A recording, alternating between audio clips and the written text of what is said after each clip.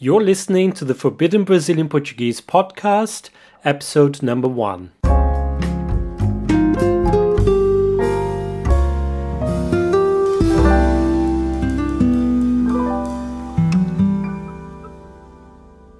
Olá pessoal, I'm Fernando and welcome to the very first podcast episode of Forbidden Brazilian Portuguese. I wanted to record this first episode as a kind of introduction to this podcast series, explaining a bit about how the idea of this podcast came about, and more importantly, what I'm going to be talking about so that you know exactly what to expect from it.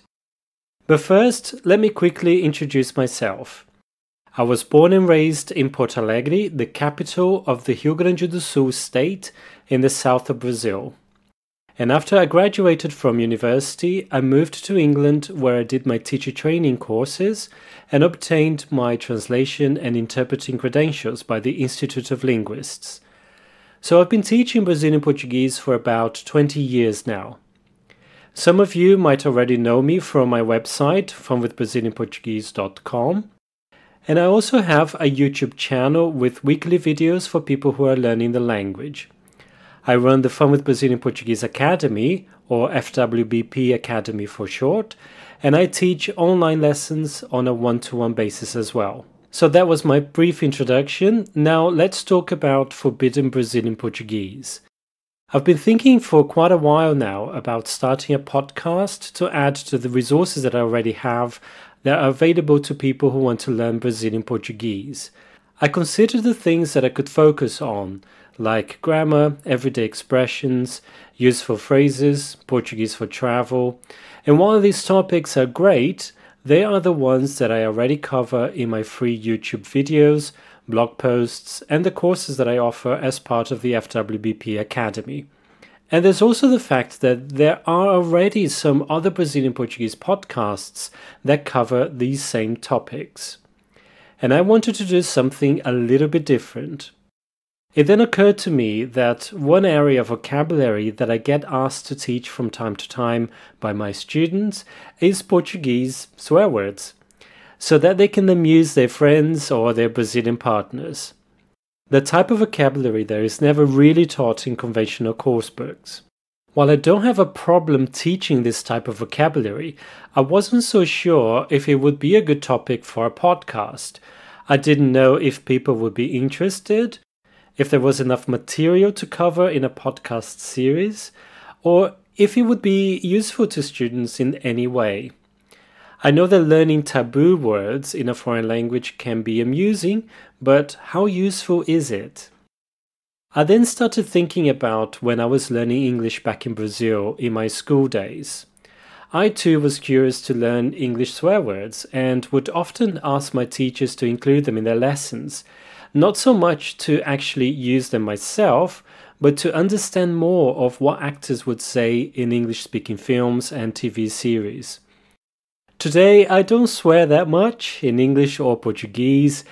Of course, I do, but I would say a healthy amount. But one thing is for sure swearing is part of language. Now, going back to my learning of English, my English is not perfect, but I am fluent now to know how to swear in English. I know which words are acceptable in certain contexts and which aren't. And for me, teaching swear words is not about teaching random bad words. You need to learn the norms, the rules, the different scenarios when swearing is acceptable, and how well or little you need to know someone before you can start insulting them, either for real, but most likely in a jokey, friendly way. So let's go back to my initial doubts about starting this kind of podcast. I said I wasn't sure if people would have any interest in it. But judging by the requests that I get from my students, yes, there is a fair amount of interest. But time will tell if this podcast will be popular or not. Hopefully, it will be. The second doubt I had was whether there was enough content of this type to cover in a podcast series. So I sat down and started to think about what I would actually teach, and I realized that yes, there is enough material. So this is what you can expect funny insults, taboo words, sexual terms, swear words, bodily functions, etc., from a social and linguistic perspective. In other words, when they are socially acceptable, the various degrees of rudeness, and in some cases, a bit about their origin as well. And the third thing I wasn't sure about was how useful these words and expressions would be. So, yes, I do think they're useful in the practical sense of you using some of them in day to day conversation. They would also help you understand Brazilian films and videos a bit better. I'll be giving plenty of examples on how to use these words, how they actually fit in sentences, so that you will also be learning general Brazilian grammar and sentence structures as well. And of course, you would also be practicing pronunciation. And you know what? Words that are considered bad or taboo can be fun as well. And in my teaching, I always try to bring an element of fun to it. For me personally, when I'm learning a language, I need to have fun with it as well. It's part of it. Otherwise, what's the point? So now there are two things that I want to be very clear about. Number one, I know it's obvious, but it needs to be said. There will be strong language in this podcast. So if you are easily offended by strong language, either in English or Portuguese, do not listen to this podcast. The second thing I want to be very clear about is this. I will, as I said, try to explain to the best of my ability when it's okay to use certain words and when it's not.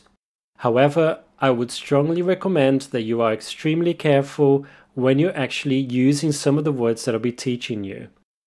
I would definitely recommend that you don't use them with strangers Trying them out with Brazilian partners, family, or friends, though, is a different story. I would, however, still recommend some caution, but of course, it's up to you to judge how receptive your friends might be when you're trying some of these more strong words with them. So that's it for me now. I hope you enjoy this introductory episode of Forbidden Portuguese.